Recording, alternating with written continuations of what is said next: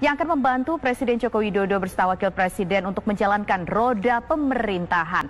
Ada nama baru, kemudian juga ternyata terjawab Gerindra mendapatkan dua kursi. Di sisi lain pemirsa, ada yang menilai bahwa komposisi menteri kali ini cukup gemuk. Di sisi lain juga yang mempertanyakan kompetensi para menteri yang ramai diperbincangkan di lini masa setelah dilakukan pembentukan Kabinet Indonesia pemirsa. Nah lantas bagaimana tanggapan sejumlah narasumber kami dari berbagai sudut pandang untuk menilai seperti apa Menteri pilihan Joko Widodo. Saat ini saya sudah bersama dengan empat orang narasumber, saya perkenalkan satu persatu. Di, di sebelah kanan saya sudah ada Bang Deddy Sitorus dan ini pendapat bapak-bapak di sini kalau kita kasih skor 1 sampai 10 Prof Musni. Ini kalau ada abang, ada adik, ada menteri yang sudah keluar jadi anggota DPR, kemudian ternyata kita masuk lagi menjadi kabinet. Ini tampaknya ditujukan dua-duanya PDI loh bang.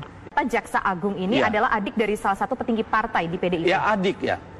Uh, yang menjadi uh, standarnya atau menjadi pertimbangan dari presidennya sendiri untuk beliau jaksa agung saat pemilihan itu kan berada di KSP sedikit okay. banyaknya tahu lah bisik yang sebetulnya menjadi uh, pertimbangan salah satu kita sebut nama yang protes uh. begitu karena bukan dari orang yang pure profesional karena dianggap memiliki keterkaitan. Siapa yang bisa menilai?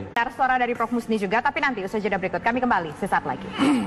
Statement dari uh, Menko Polhukam, yaitu ada Prof Mahfud MD, tadi memang sudah sempat kita bahas sedikit dengan Bang Deddy, tapi saya Musni. Ada perubahan dari jauh plot menjadi Jaksa Agung. Anda melihatnya bagaimana? Kasih kesempatan Prof Musni untuk... Persoalan tarik-menarik ya. kepentingan politik. Baiknya ngomongnya gimana dong? mengajukan iya, kader-kader iya, terbaiknya. Tetapi Betul. yang menjadi pertanyaan dari Prof. Musni dan juga mungkin Bang Rey dan juga pertanyaan publik adalah bagaimana kalau ternyata yang disodorkan itu tidak sesuai dengan keinginan publik? publik kita jawab mana? nanti. Iya. Saya nah, jawab kami ya. kembali sesaat lagi. Nanti Bang kita jawab. saya jawab, saya jawab.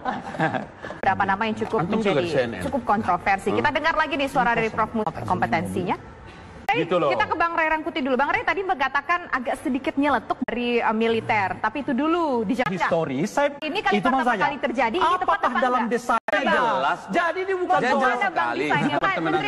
Ini loh Bang dari awal saya sudah mengatakan bahwa saya sempat mengatakan ini ke Abang bahwa tugas utamanya salah satunya dari Menteri Agama ini adalah ketika di mana masalahnya? Ya. Di mana? Gitu, karena itulah, karena itu tadi saya jawab. Katolik, Protestan, Hindu, Buddha dan semua Itu di mana? Pertanyaannya adalah Tapi sidang pemirsa nanti kita dengar suara dari Bang Abalin dan juga Bang Deddy. Di segmen berikutnya kita akan jawab soal kapabilitas ini. Tapi nanti usai jeda berikut sesaat lagi.